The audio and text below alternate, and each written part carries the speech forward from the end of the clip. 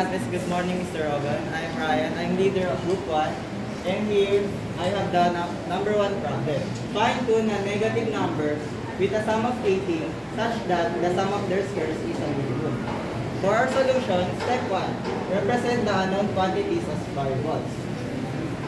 In x should be the first number and x 18 minus x be the second number.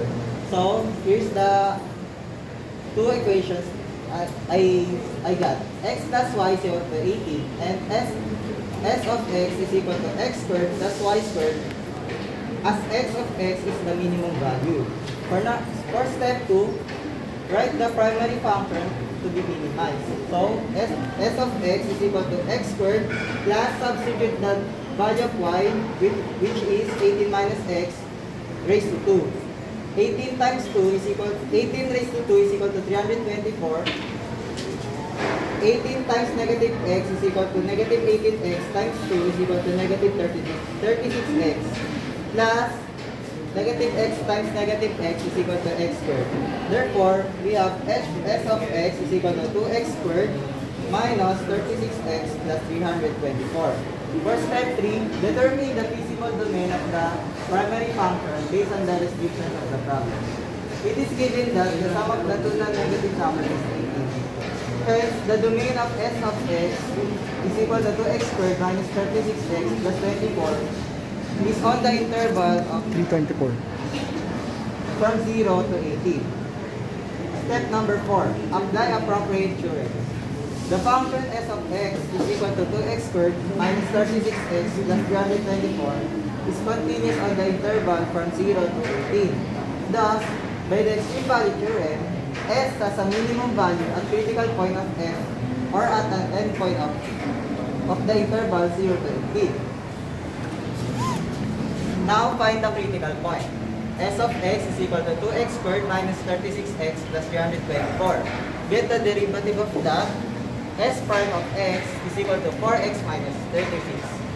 2 times 2 is equal to 4 and 2 minus 1 is equal to 1. So 4x minus 30, get the derivative of negative 36x is equal to negative 36 and make the constant equal to 0.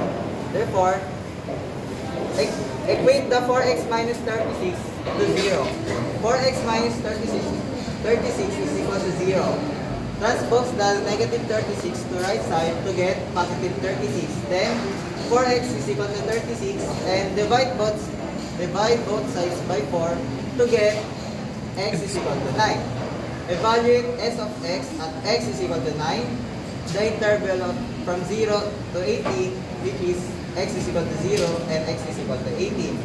By substituting 9 to the given s of x, for s of 9, we got 162. For s of 0, we got 324. And for x, s of 18, we got 324.